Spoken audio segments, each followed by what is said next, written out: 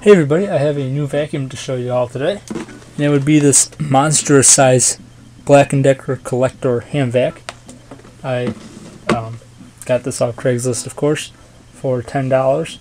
Um, I only picked it up today because I happen to be driving out in the area where it is, which is not very close to my house, but it's not too far away. Um, I saw it while I was browsing. I found another couple cool vacs, which are going to be in another video, probably uploaded after this.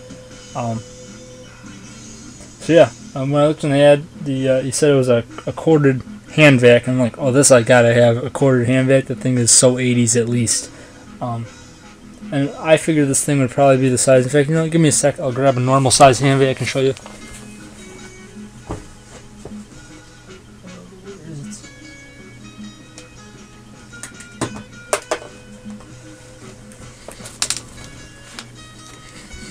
Okay, for reference, this is my little power pack, my little power pack 12 volt car hand vacuum, and there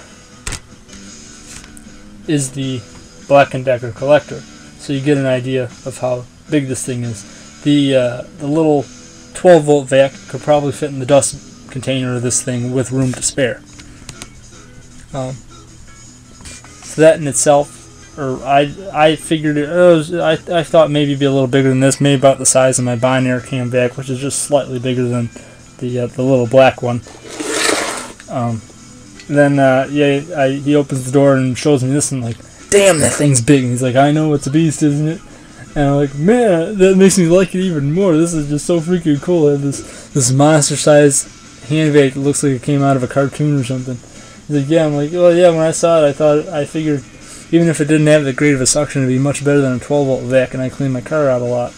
Um, so I figured it'd be real useful. It has a nice long cord to it. Um, and it's definitely easier than pulling out a shop vac or an upright to clean the car real quick. Um, because hand vacs work real nice on seats and stuff where I'm always getting crumbs and dust and garbage and whatever. So yeah, I was like, wow, this is like really worth my money now because it's such a beastly thing. And this is one powerful vacuum. It's got a, a 3 amp motor in it. I don't know if it has a model number or not. This is this category number, whatever the heck that's supposed to mean.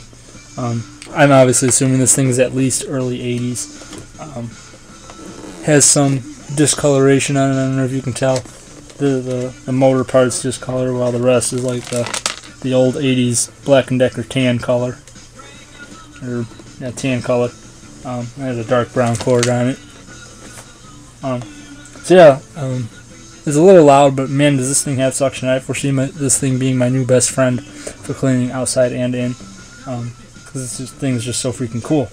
Um, so yeah let's do a little running of it. I'm just gonna sit here and run the thing.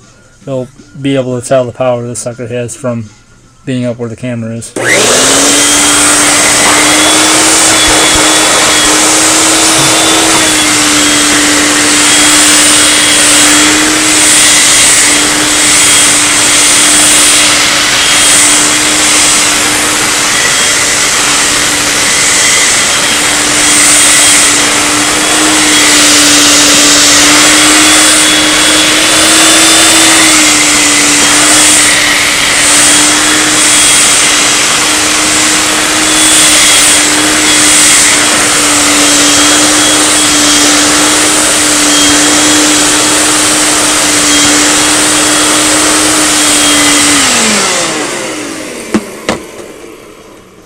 Yeah, this thing has so much power. I'm seeing it suck dust out from under the vacuums I didn't know was there, um, which is pretty darn cool.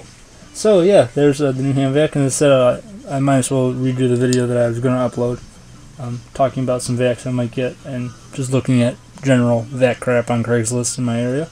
Um, so I hope you enjoyed my new beastly Black & Decker collector. I certainly know I will be enjoying it.